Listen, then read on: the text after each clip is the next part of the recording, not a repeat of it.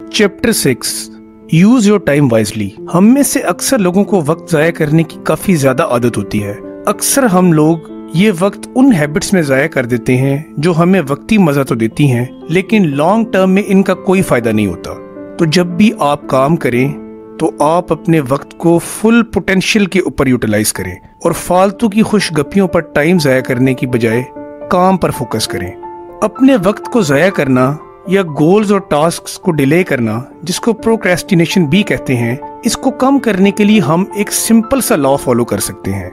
इस लॉ को author law of three कहते हैं। ये लॉ कहता है कि आपकी सिर्फ़ तीन टास्क आपके 90 परसेंट रिज़ल्ट को रिप्रेजेंट करती हैं। तो अब इन तीन टास्क के बारे में हम किस तरह से जान सकते हैं? इसके लिए आप अपने आप से सिंपल से थ्री क्वेश्चंस पूछें। क्वेश्चन नंबर वन अगर मैं अपनी टास्क लिस्ट में से सिर्फ़ एक चीज़ करनी हो, जो मुझे बेस्ट रिजल्ट्स दिलाएगी तो वो क्या है? क्वेश्चन टू अगर मुझे अपनी टास्क लिस्ट में से दूसरी चीज़ करनी हो, जो मुझे बेस्ट रिजल्ट्स दिलाएगी तो वो टास्क क्या है?